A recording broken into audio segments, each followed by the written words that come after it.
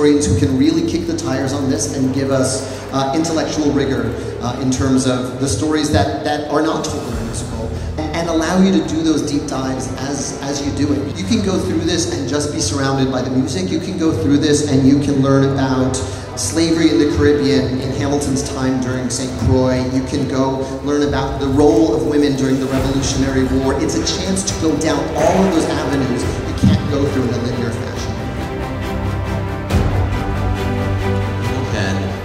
Much time as they want, going as deep or as wide as they want. They can read every single thing in every single gallery and spend hours, or they can hear an incredibly remastered, reorchestrated, and re-recorded score of our show in all the galleries and burn through it in 45 minutes or so.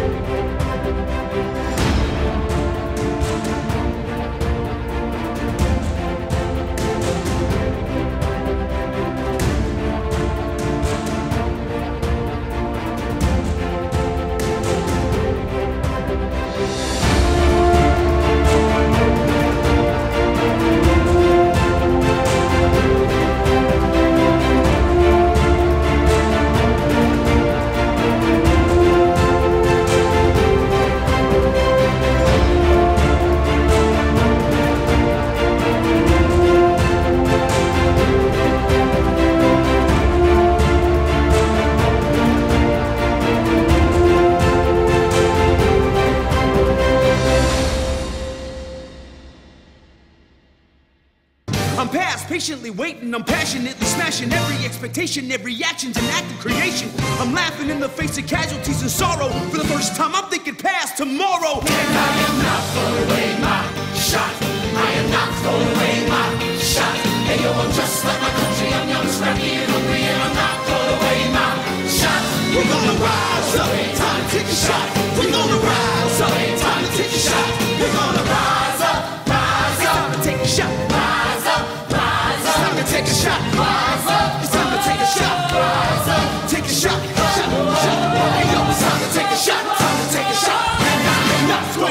might